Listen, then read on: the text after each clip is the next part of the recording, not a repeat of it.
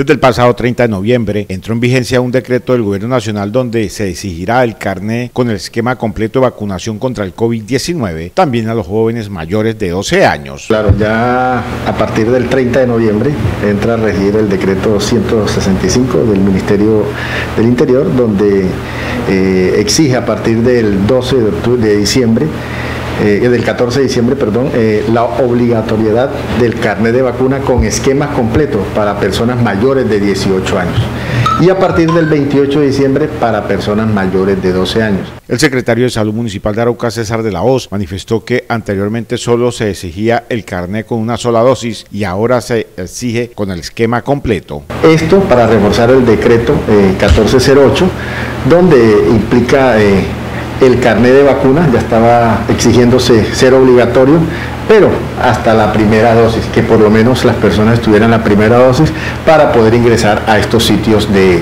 ocio, de aglomeración, escenarios deportivos, bares, gastrobares, todos los eventos de, que impliquen aglomeración masiva. El funcionario señaló que ahora el nuevo decreto exige todo el esquema completo de vacunación, o sea, las tres dosis.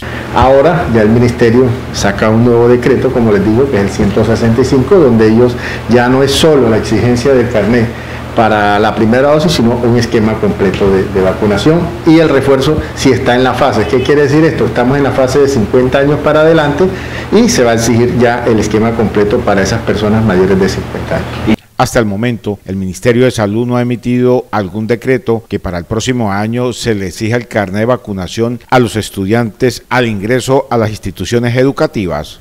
En estos sitios especificados en el decreto, como les dije en el decreto 1408, sí.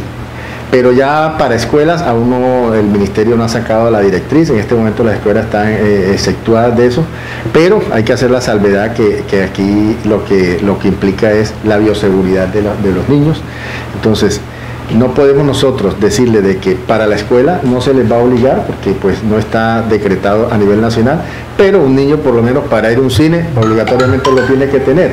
Entonces, deberían vacunar a los niños para que ellos puedan hacer su actividad normal social todo el tiempo. Para las autoridades de salud del municipio de Arauca se bajó un poco el contagio del COVID-19 en la capital araucana. Bueno, en este momento nosotros eh, tenemos... Eh, un leve contagio ya en el municipio de Arauca, estamos evidenciando contagios en el municipio de Arauca, incitamos a la comunidad a seguir guardando los protocolos de bioseguridad. La vacunación ha sido efectiva, eh, sí funciona la vacunación, es, es algo que nosotros debemos aportar aquí al tema del Plan Nacional de Vacunación. La vacunación sí ha funcionado y a la vista está que en Arauca, un municipio que tuvo tres picos bastante, el segundo y tercero fueron bastante letales, pues en este momento estamos manejando ya cifras un poquito más moderadas. La Secretaría de Salud Municipal de Arauca invita a la comunidad en general a no bajar la guardia con las medidas de bioseguridad.